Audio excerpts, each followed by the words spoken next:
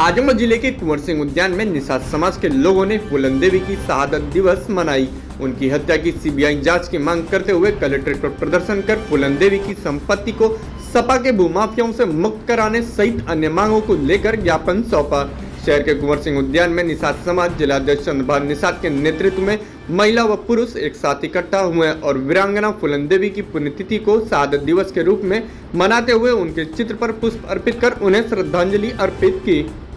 जिसके बाद निषाद समाज ने कलेक्ट्रेट पहुँच प्रदर्शन कर प्रधानमंत्री, मुख्यमंत्री व गृह मंत्री के नाम संबोधित ज्ञापन जिलाधिकारी को सौंपा है। निषाद पार्टी जिलाध्यक्ष चंद्रभान निषाद ने बताया कि फुलन देवी अपने ऊपर जुल्म और अत्याचार के खिलाफ लड़ाई लड़ी थी। सांसद बनी, उसके बाद उनकी हत्या कर दी गई।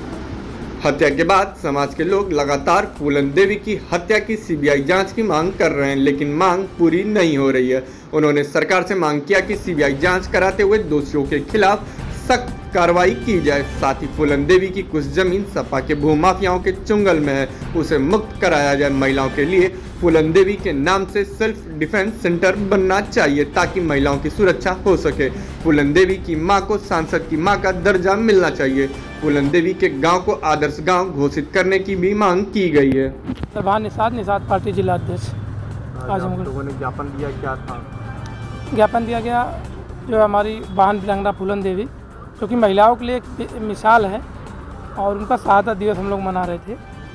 और हम, हमारी ज्ञापन है कि हमारी मांगे हैं कि सरकार द्वारा जैसे हम लोग फूलन देवी का कुछ ज़मीन जो है, सपा के कुछ भूमाफिया कब्जा किए हैं, उनकी ज़मीन कब्जा मुक्त होना चाहिए।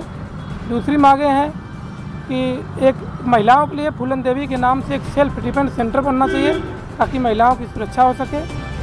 तीसरी हमारा है, उनका जो घटना हुई है, उनका सीबीआई जाँच होना चाहिए और उनकी माता का एक सांसद का, सांसद की माँ का दर्जा मिलना चाहिए और उनके गाँव का आदर्श गाँव घोषित होना चाहिए सब हमारी मांगे हैं।